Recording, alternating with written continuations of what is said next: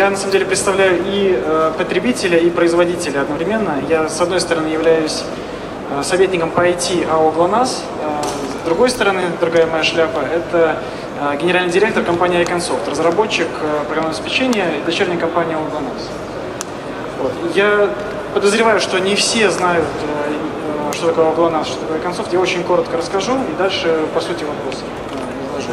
Мы универсальный разработчик, создан при участии компании АО и создавали нас, собственно, для того, чтобы как раз выполнить программу импортозамещения и цифровой трансформации, в первую очередь АО Сейчас у нас порядка 70 человек, и мы, собственно, выполняем развитие, создание новых сервисов и поддержку критической инфраструктуры, в частности, системы аэроглонас.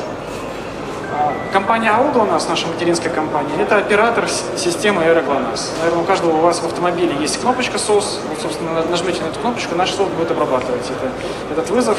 А, достаточно такая значимая э, функция, э, очень помогает мне в мотивации разработчиков, потому что когда разработчик приходит видеть такую социальную, такую важную миссию, обеспечить реагирование в течение золотого часа в случае ДТП, это очень хорошо людей мотивирует.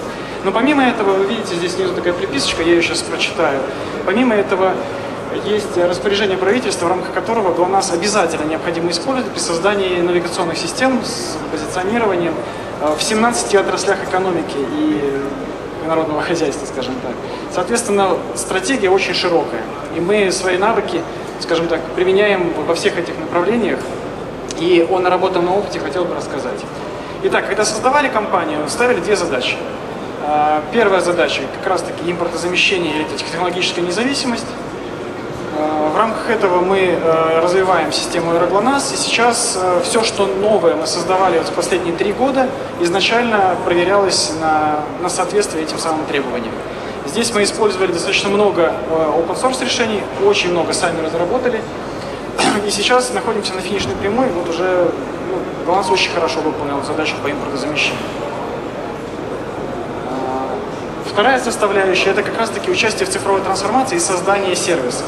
Вот за время работы компании мы очень много сами создавали, но вы видите, да, что количество отраслей, где мы должны приложить свои знания, плюс количество систем, которые мы создаем, оно такое, что для маленькой компании в 70 человек это практически невозможно сделать с нуля. Поэтому мы очень широко используем open source. Я немножко перечислю э, те проекты, которые мы делали в рамках э, развития инфраструктуры и импортозамещения внутри АО «ГЛОНАСС» и расскажу о том опыте, который, тех выводах, которые мы сделали в рамках этой работы. Сама платформа AeroGLONASS. Э, по сути, GLONASS является одним из крупнейших IoT-операторов в России. 9 миллионов автомобилей подключены к нашей системе. То есть такая достаточно большая критичная система. Геораспределенная, сложная, а, и здесь э, выполнена задача по импортозамещению, но вот остался у нас Oracle немножко, да, но до конца года, надеюсь, мы его выпилим. А, вокруг него создали единое хранилище данных, полностью open source решение, полностью взаимоувязанное. Система BI, система дэшбордов, API для внешнего мира, возможность э, работать с данными, подключать э, страховые компании, которые пользуются нашими данными, а также регуляторные органы коммерческий портал. Это, по сути, система, которую мы делали для работы с... Э, take your time. Позвольте, я продолжу. А, коммерческий портал, интересное решение, это такой стандартный, казалось бы, личный кабинет клиента, но что мы делаем для того, чтобы э, как, оригинально подойти к решению? Мы в основу закладываем систему BPM, опять же open source решение, которое позволяет гибко настраивать Э, те процессы, которые мы делаем. Мы разрабатываем мобильное приложение, в том числе для операционной системы Аврора, уже есть у нас работающее приложение. Э, и, э, наверное, вы знаете, может не знаете, вышло постановление правительства 2216, где в систему ГЛОНАСС необходимо передавать данные о перемещении пассажирского транспорта и транспорта, перевозящего опасные грузы. Собственно, вот эта вся экосистема позволяет накапливать, обрабатывать данные, обрабатывать всех участников рынка, взаимодействовать с 85 Э, службами 112 по, по стране, э, и большинство вещей разработали мы самостоятельно. Но в процессе выявили некие паттерны. То, что мы создавали, мы выделили в некоторые продукты. Это продукты, связанные с BI, с аналитиком Iconboard, я об этом расскажу. Icon Team это мы сами для себя сделали Task Tracker. И RPA это система роботизации бизнес-процессов. Пару слов о принципах, которые мы исповедуем. Мы много используем open source. Но с первого дня, с, с момента создания компании в 2019 году, всегда используя open source компоненты, мы их кэшируем в себе, проводим э, анализ э, на уязвимости, фиксируем версии, и ни один разработчик у нас не может получить новую версию из интернета, в принципе. Э, и это очень хорошо, на самом деле, отразилось на, в рамках последних событий на нашей работоспособности. У нас уже, в принципе, процесс был налажен.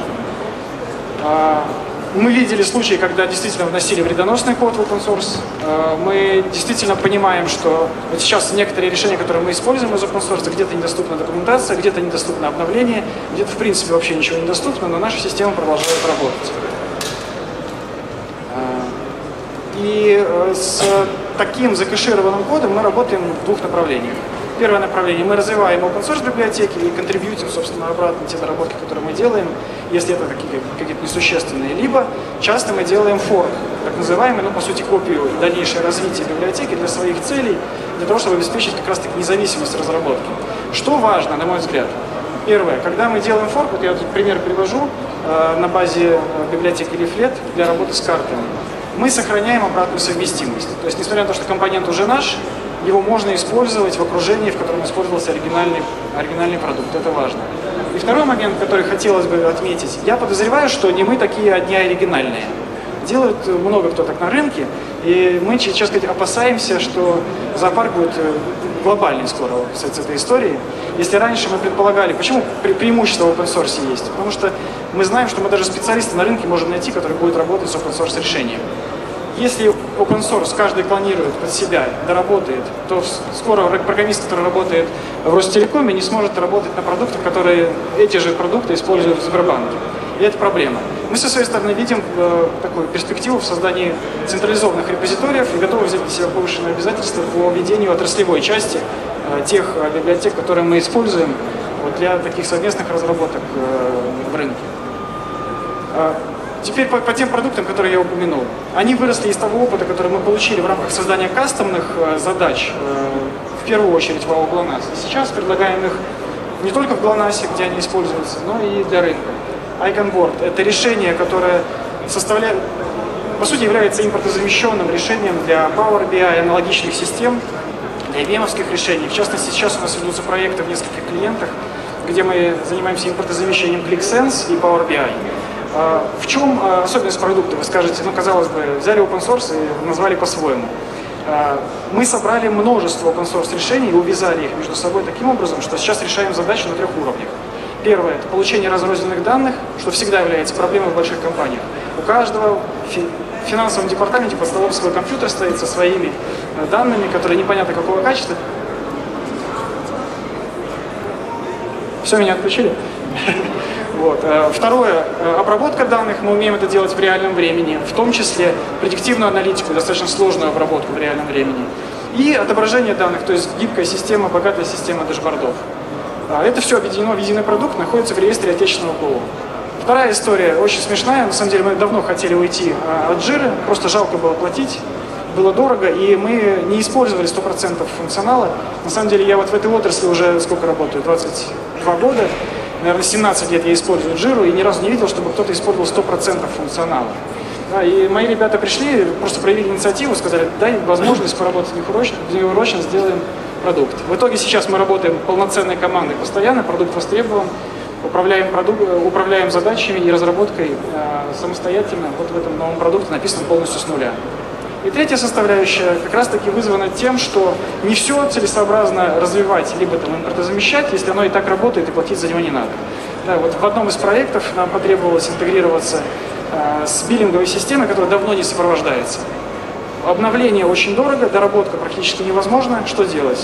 Мы сделали э, продукт э, по роботизации бизнес-процессов. По сути, робот ходит и выполняет действия за человека. И на этом уровне мы сделали интеграцию.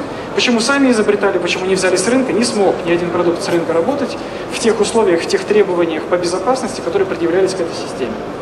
А теперь это, собственно, продукт, который еще пока не в реестре, но вот скоро там окажется. Подытожим. Три, три постулата, три пункта. Мы не боимся использовать open source, но при этом э, наладили процесс по контролю тех рисков, которые видим э, в этом использовании. При этом сами дальше продолжаем развивать эти библиотеки и создаем собственные версии. Ну и э, наши продукты э, во многом э, используют open source, ну, за исключением, наверное, Icon Team. Это большой плюс, э, я считаю, для потребителей даже в том, что э, на рынке можно найти специалистов, которые смогут эти продукты развивать сопровождать, это не обязательно должны быть мы. Я считаю, что неправильно подсаживать на иглу заказчика, да, надо работать в партнерстве. Поэтому такая, такого рода безопасность, на мой взгляд, это важный фактор.